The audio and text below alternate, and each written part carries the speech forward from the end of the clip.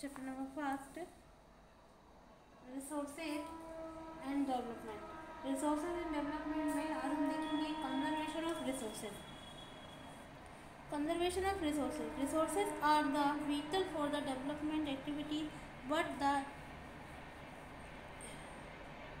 irrational consumption and the overutilization of resources may be lead to the social economic and the environment problem यदि हमने जो resources हैं हम जो use करते हैं, यदि हमने उनका जो यूज़ है वो एक लिमिट मात्रा में नहीं किया, या फिर जब आवश्यकता है तब हमने यूज़ नहीं किया और ऐसे ही यूज़ करते करते उसको ख़त्म कर दिया तो एक दिन ऐसा आएगा कि हमारा जो डेवलपमेंट है, हमारा डेवलपमेंट नहीं हो पाएगा और हमें वो यूज़ करने को नहीं मिलेंगे क्योंकि वो एक ना एक दिन ख़त्म हो जाएँगे। इसलिए इनका कंजर्वेशन करना हमें आवश्यक है। यदि हम अपना विकास चाहते हैं हमारी कंट्री का विकास चाहते हैं तो हमें इनको सोच समझ के और कंडीशन को देख करके यूज़ करना चाहिए। नहीं तो फिर हमारी जो इन्वायरमेंटल जो प्रॉब्लम है वो दिन पे दिन बढ़ती जाएगी। टू ओवरकम दिस प्रॉब्लम इस प्रॉब्लम से ऊपर आने के लिए the resources conservation the various level is important बहुत डिफरेंट लेवल पर इसका कंजर्वेशन करना आवश्यक है। This had been the main concern of the leaders and the thinker ये हमारे जो कंसर्न करने वाले हैं, जो विचार करने वाले जो लीडर्स हैं और सोचने वाले थिंकर्स हैं, उनके लिए एक बहुत बड़ा टास्क है। For example Gandhi ji were very active एक दिन था वॉइसिंग गांधी जी इस चीज़ में बहुत ही आगे थे और वो भी इस मैटर के ऊपर काफ़ी सोचते थे। And his concern about the resources उनका जो कंसर्न था रिसोर्सेज के लिए बहुत ही था कंजर्वेशन इन दीज वर्ड उनके उनके शब्दों में there is enough for the everybody सभी लोगों के लिए पर्याप्त मात्रा में सभी चीज़ें हैं, सभी को आवश्यकता भी होती है needed and not for the anybody's greed his places and the greedy and the selfish मतलब इसमें जो लोग सेल्फिश होते हैं, वो क्या करते हैं? वो ये सोचते हैं कि सिर्फ़ हमारा यूज़ हो जाए, बाकी के लोगों का ना भी हो तो क्या करना है हमें? लेकिन ऐसा नहीं है। हमें सबके बारे में सोचना चाहिए कि यदि सब लोग यही सोचेंगे तो दूसरों की भलाई का काम कौन करेगा? और एक दिन जब सब अपना अपना करके फिनिश कर देंगे तो वो चीज़ खत्म ही हो जाएगी, फिर ना आपको मिलेगी और को मिलेगी। इसलिए हमें ऐसा नहीं सोचना चाहिए। And the individual and the exploitative nature of the modern technology as the root जो मॉडर्न टेक्नोलॉजी है, वो ही इसकी रूट है। In the causes of the resources development and the global level ये ग्लोबल लेवल पर इसको डेवलप किया गया। And he was against masses the production and wanted to the replace it with मतलब जो भी अब नए नए प्रोडक्ट बने हैं, उनको इसकी जगह पर हम यूज़ कर सकते हैं। मतलब रिप्लेस करके हम यूज़ कर सकते हैं ये नई टेक्नोलॉजी की देन है। And it with the production by the masses at the international level यदि हम इंटरनेशनल लेवल पर देखें the club of the Rome advocated resources and conservation of the first time पहली बार जब इसका कंजर्वेशन किया गया था मोर द सिस्टमेटिक वे 1968 सबसे पहले 1968 में इसका आ, किया गया था।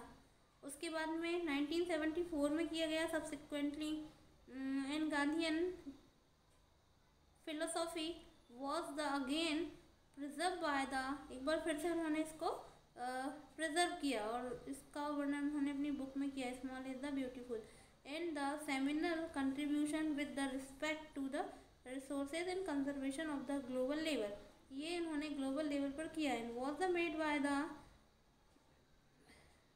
from and the commission reported 1987 और 1987 में कमीशन को लेकर आया। This reported introduce the concept of the sustainable development और जो हमने कल पढ़ा था सस्टेनेबल डेवलपमेंट उस डेवलपमेंट को लेकर के आया कंजर्व करने के लिए।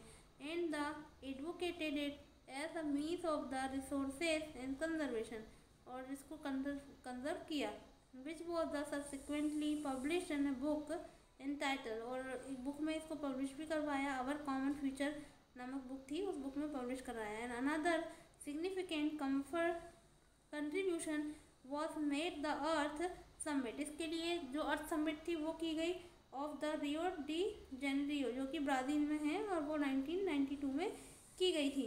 इसके बाद हम देखेंगे हमारा land resources we live on the land हम सभी जानते हैं कि हम लैंड पर रहते हैं।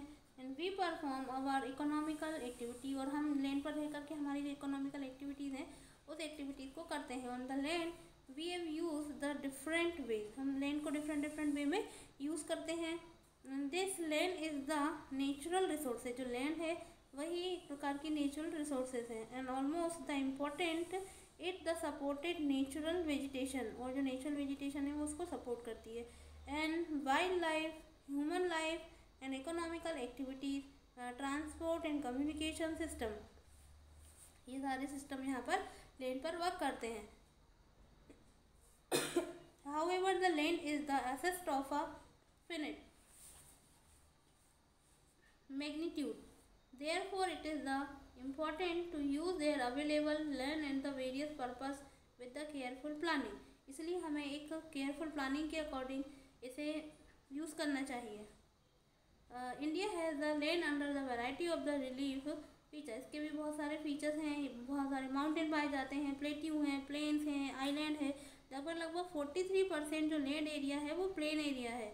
और, जो कि हमको बहुत सारी फैसिलिटी प्रोवाइड कराता है, जैसे एग्रीकल्चर हुई माउंटेन हुए और लगभग लगभग थर्टी परसेंट जो टोटल सरफेस एरिया है कंट्री में, वो मतलब रिवर फ्लो होती है उनमें और कुछ फैसिलिटी हैं जो टूरिज़्म के लिए प्रोवाइड होती है। निकोलॉजिकली एक्सपेक्ट से हम देखें तो ट्वेंटी सेवन परसेंट जो एरिया है कंट्री का, वो प्लेटिव रीजन से भरा हुआ है।